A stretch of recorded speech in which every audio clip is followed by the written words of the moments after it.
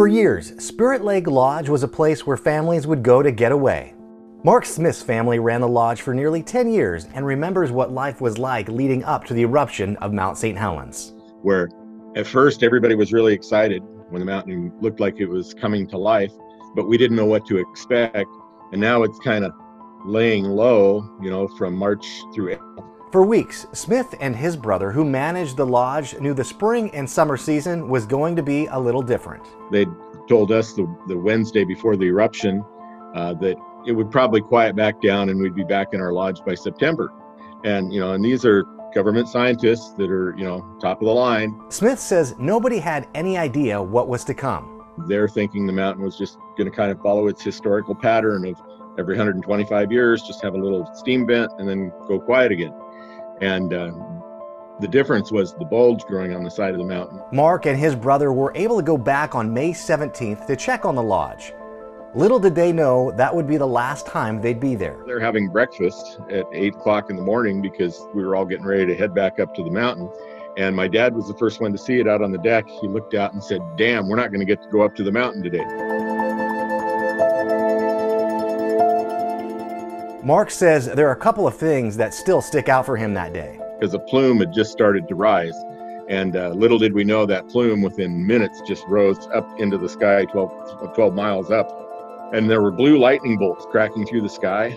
And it was just unbelievable. And of course, I was 20 years old. So the first thing I did was run down, get in my Jeep, and drive closer to the mountain. He drove back roads to try to get a closer look at the damage and saw how quickly the melting of the snow and ice started to swallow up trees. As we were standing there, you know, you could just hear the snap and the cracking and everything of the timber as it came around the corner.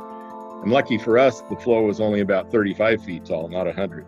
And uh, it came around, wiped out the bridge in front of us. Smith remembers walking into his parents' house, which was east of the mountain, and that's when things really hit him. And the first videos were showing on the TV.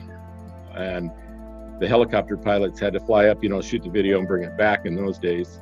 And uh, they were saying that they couldn't even find Spirit Lake. Their family's lodge was gone, buried under 500 feet of rock, ash, and debris. And we watched and saw nothing but gray and steaming, and you know, there, you just you couldn't even tell where they were at.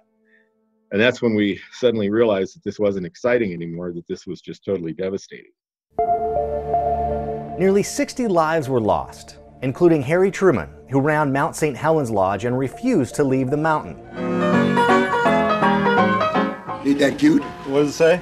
Where were you in Mount St. Helens Blew? Yeah, yeah. Smith and his family had grown close to Truman and were the last people to see him alive. And I don't think he really felt too afraid or that he was too worried at that time. I got the impression that he thought he had actually beat it, you know, or it was going to quiet down.